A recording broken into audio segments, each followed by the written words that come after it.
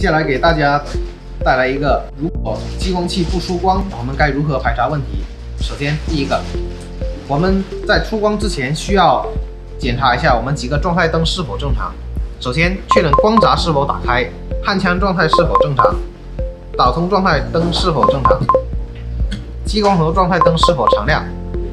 我们想要出光，必须要满足四个状态灯都触发状态。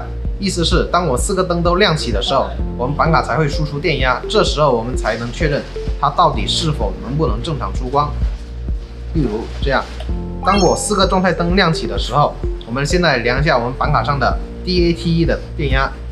DATE 指的是我们激光器的模拟量输出，它是零至十伏电压。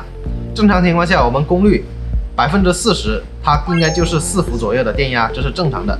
我们再量一下旁边的 PWM 电压。PWM 正常情况下，我们输出电压是二十至二十四伏之间。还有再过来，我们使能也是一样的。当我们触发状态时，使能和 PWM 也是一样，输出电压是在二十至二十四伏之间。如果说当我们发现电压有电压正常输出，但是电压输出电压不对的情况下，我们如何判断问题呢？首先量一下我们的 PDAT 端口，它正常情况下。也在输出正常电压，但是它电压明显比我们正常的零至十伏小了，有可能是我们的一个拨码开关拨到 IPG 端口了。正常情况下，我们的是 NOIPG，它是零至十伏的电压，但是当我们拨到 IPG 端口的时候，它只有零到五伏的电压。再量一下 PWM，